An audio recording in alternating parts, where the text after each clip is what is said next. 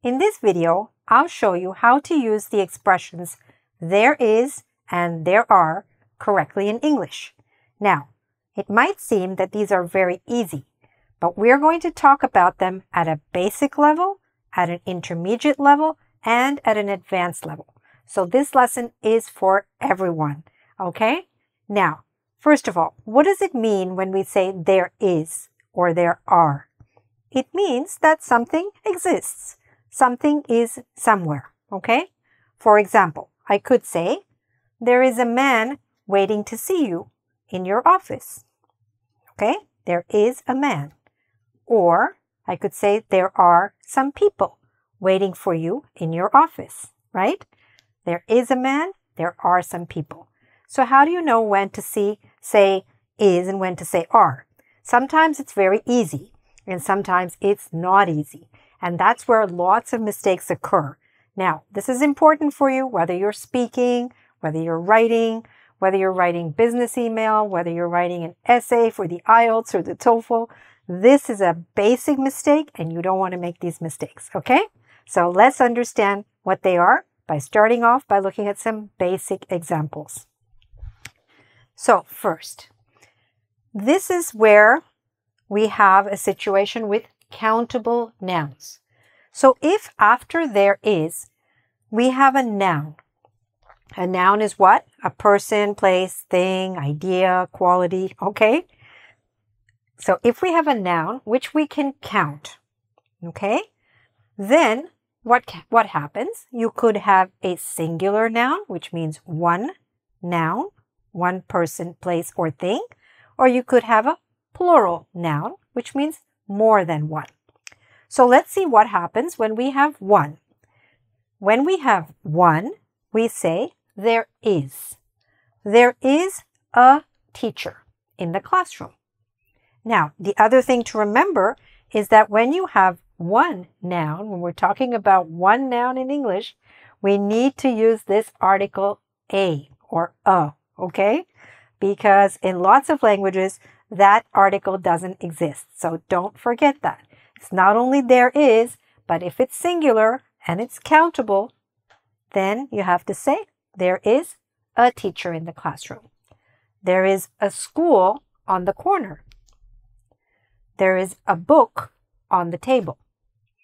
Now, there is a is the full form. Usually when we're speaking, we contract it, we shorten it, and we just say, there's a book on the table. Okay? Got that? Say it after me. There's a book on the table. All right, fine.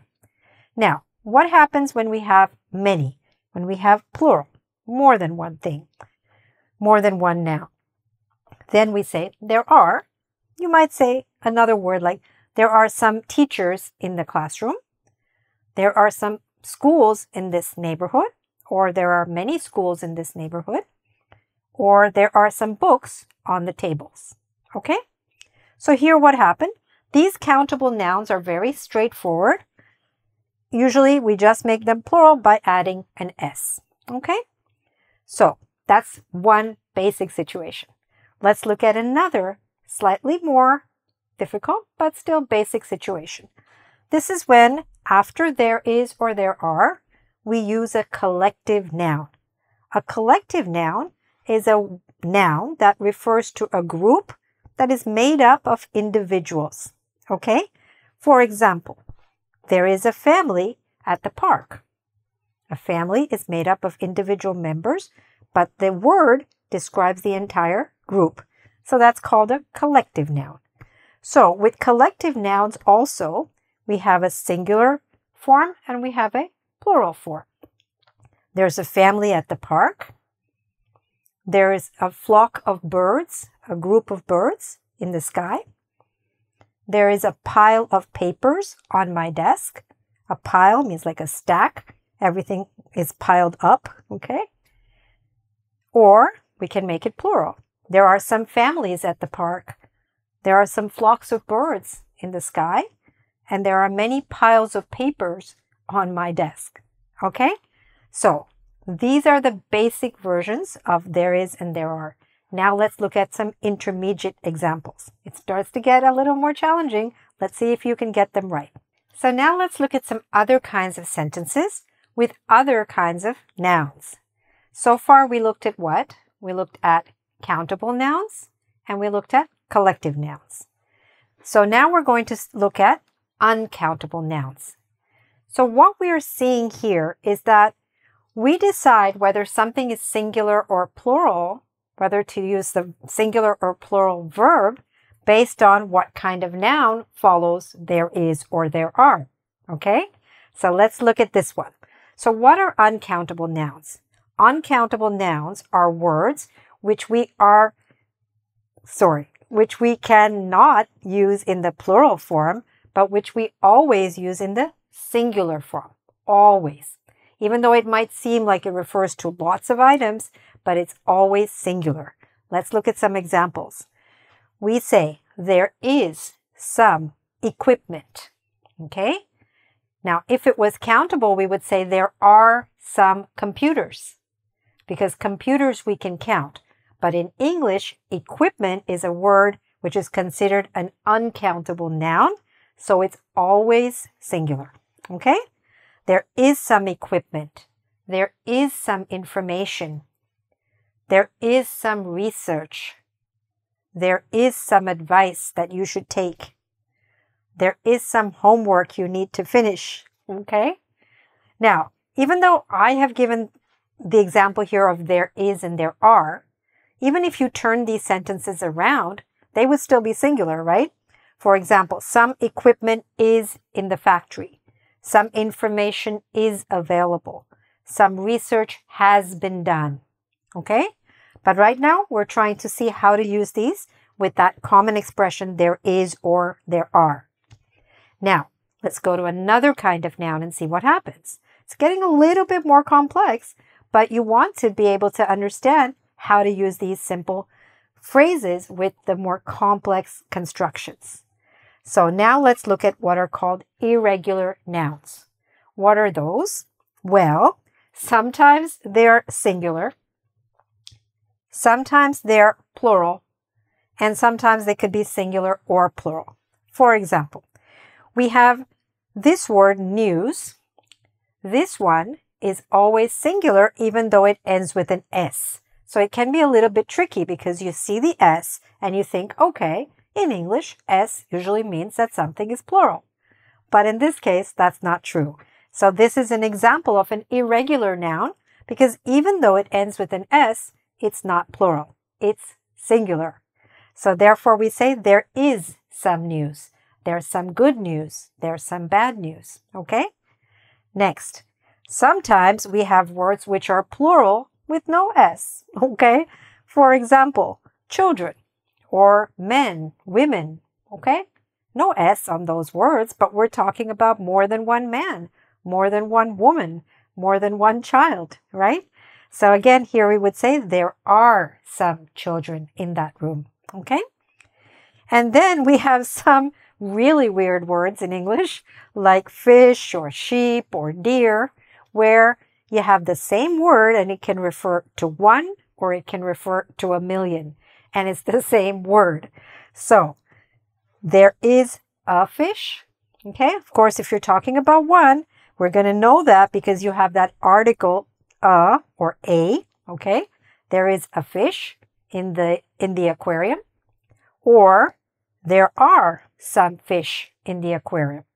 So the singular form of fish is fish, and the plural form of fish is also fish. Okay?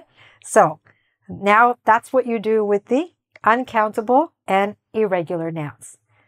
That was the intermediate level. Are you still with me? Okay. So let's go forward now and see what happens at an advanced level. Okay? Keep watching. Okay. So now let's look at a noun phrase.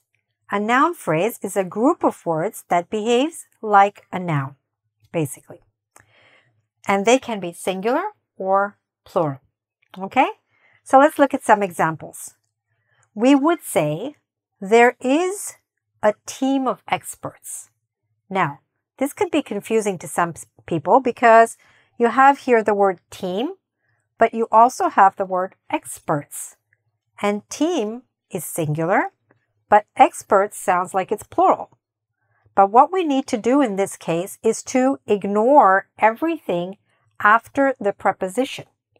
So the real noun that we're talking about here that decides on the verb that we use is this one.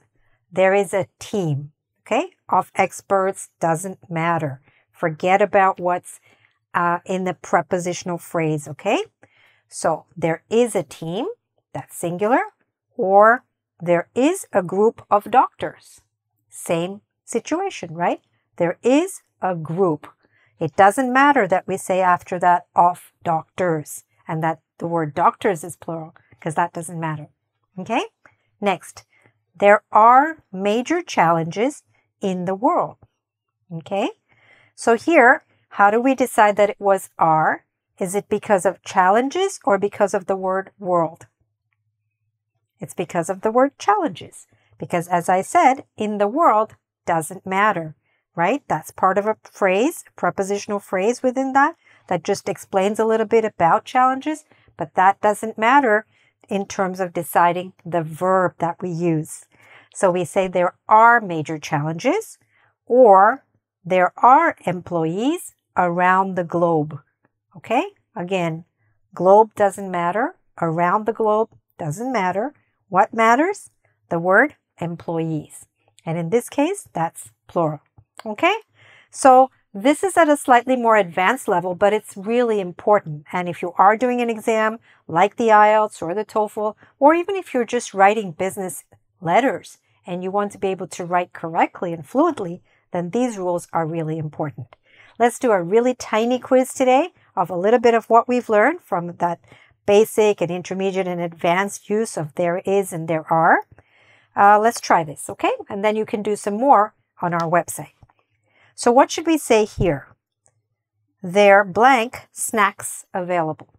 Snacks are a little something that you eat while you're watching TV. okay. All right.